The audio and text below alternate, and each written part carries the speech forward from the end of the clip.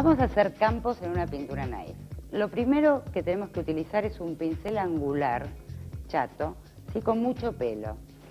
Vamos a utilizar de fondo pintura acrílica blanca, siempre utilizamos blanco de fondo como para que puedan fundirse muy bien los colores uno al lado del otro.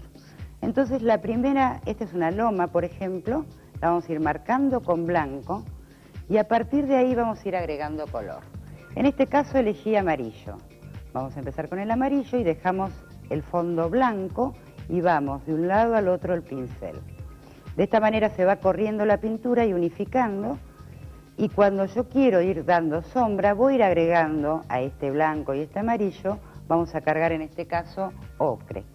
Con el mismo pincel sin descargarlo vamos a ir de un lado al otro y fíjense, ahora voy a hacer un movimiento que voy juntando el amarillo con el ocre hasta que yo vea que se funden los colores.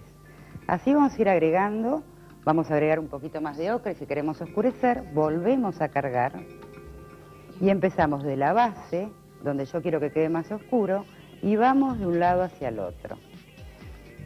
Vamos estirando la pintura hasta que se va uniendo y casi no se nota la diferencia entre el amarillo y el ocre.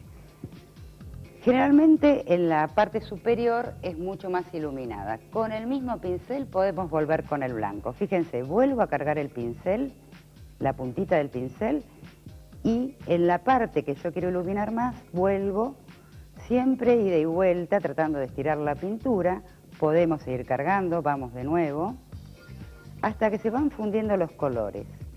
De esta, esta manera es la mejor como para que nos quede pareja la pintura y se vaya unificando sigo estirando, puedo ir hacia abajo porque no se va a mezclar y siempre si necesito voy volviendo a cargar, en este caso ocre, amarillo, vuelvo con el blanco hasta que quede iluminado.